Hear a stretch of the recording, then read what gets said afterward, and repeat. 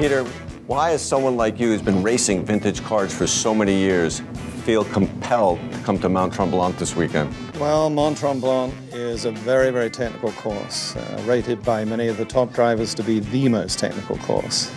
And uh, our host here is Lawrence Stroll, and he allows us to play in his sandbox, and uh, I couldn't resist the opportunity. And you've owned many cars over the years. What car did you bring here this weekend?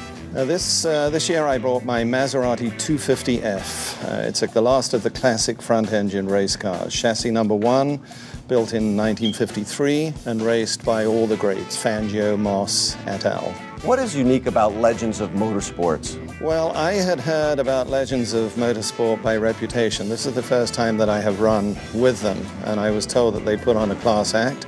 Bobby, of course, I know, uh, and so now I can confirm it is a class act, and I've had a great weekend. And uh, I'm now a disciple, and I'll be helping to uh, spread the word. And what's your favorite car to race? Well, you know, I believe my cars are human, and if I tell you they'll over here and they'll sulk and not work anymore.